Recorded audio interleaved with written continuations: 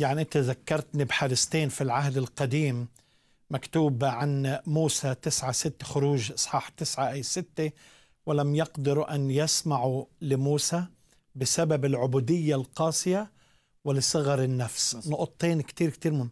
عبودية قاسية وصغر النفس. والحادثة الثانية لما موسى بعت الجواسيس الاثني عشر رجعوا عشرة قالوا كنا في أعينهم كالجراد وهكذا كنا في أعيننا. يعني أوكي العدو طويل وعملاق بس أنا كنت في عيني في نظر عيني أنا كمان كنت جراد. ولكن آه، يشوع وكالب بن يفنة تكلموا كلام إيمان كلام إيمان. يشوع قال بل هم خبزنا. وكالب قال إننا قادرون على امتلاكها.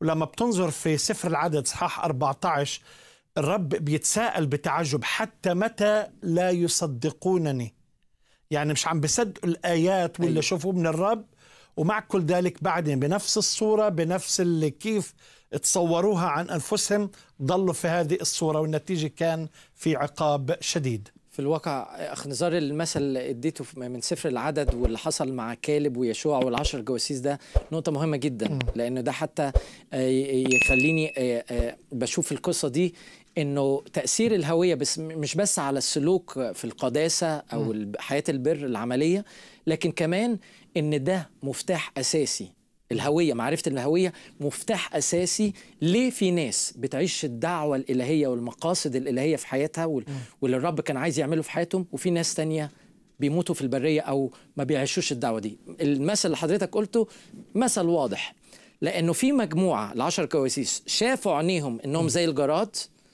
وقبلوا ال ال صدقوا. صدقوا الكلام ده وشافوا النظرة ديت وصدقوا ال- اللي بيحاول الشيطان إنه يفرضوا عليهم إن آه، آه، وهكذا كنا في أعينهم. يعني كمان الأعداء بيقولوا أنتوا جراد.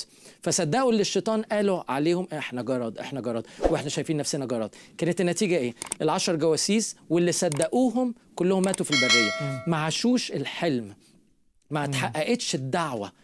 عزيزي المشاهد المقاصد لو الرب كلمك على دعوة على خطة عظيمة وادالك وعود في كلمات نبوية على حياتك إنه هيعمل من خلالك أمور عظيمة وأنت حاسس إنه مش عارف ليه لغاية دلوقتي مش قادر تشوف ده مفتاح أساسي أخ نزار إنه إنه لما المؤمنين بيشتغلوا على الهوية بتاعتهم يعني إيه يشتغلوا؟ يعني إنه بيقضي وقت. أنا أنا بحتاج أنا ده فرق معايا في حياتي الشخصية.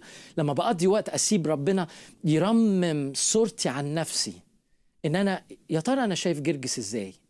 أنا شايفه إزاي؟ شايفه من خلال الماضي من خلال الوقوع الاختبارات اللي عاشها والسقطات اللي عاشها أو ال- ال- اللي كان العالم والناس اللي معايا في المدرسة بيقوله لي ولا المدرسين ولا يمكن تربية آه، الناس كانت بتقوله لي وصدقت ودخل اتغلغل جوايا ولا الكلمة بسيبها إنها تغير وتجدد رؤيتي عن نفسي. فالنتيجة إنه لما بسيب ده بنطلق في الدعوة الإلهية أكتر. ده اللي عمله كالب.